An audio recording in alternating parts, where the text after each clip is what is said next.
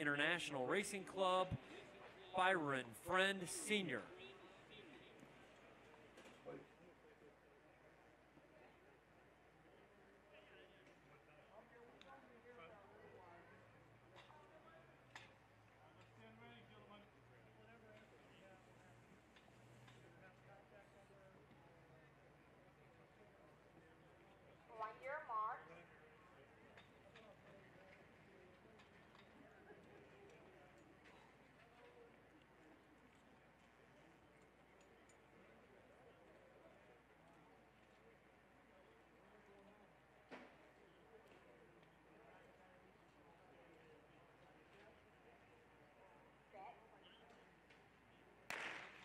Underway here. Keep an eye on Tissenbaum in four, Yelverton in five.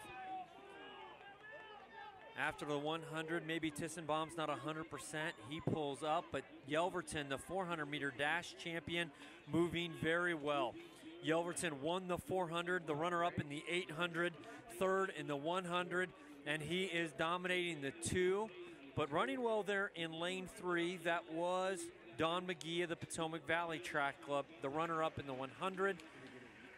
Second in the 100, now second in the 200 for McGee. The winning time for Yelverton, 25.36.